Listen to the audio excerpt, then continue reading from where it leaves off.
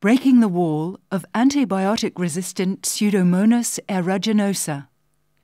Hovakim. Grabski, Russian Armenian University, Yerevan. Hello, everyone. Following World War II, when antibiotics became industrially produced, our quality of life and our longevity improved enormously, but no one at the time thought bacteria were going to become resistant. In 2017, the World Health Organization announced a list of the most dangerous superbugs, and among them is Pseudomonas aeruginosa, which is an antibiotic-resistant, opportunistic human pathogen. The central problem is that it affects patients suffering from AIDS, cancer, cystic fibrosis, burn victims, people with implants, prosthetics, etc. It should be also noted, though it is hard to believe, but the hospital is the place where a lot of people can get infected by this bacteria.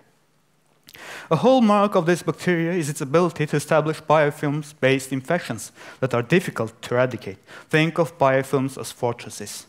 Biofilms are less susceptible to immune responses. Biofilms increase antibiotic tolerance by 1,000 times. Developing treatments against biofilms requires an understanding on how it is regulated.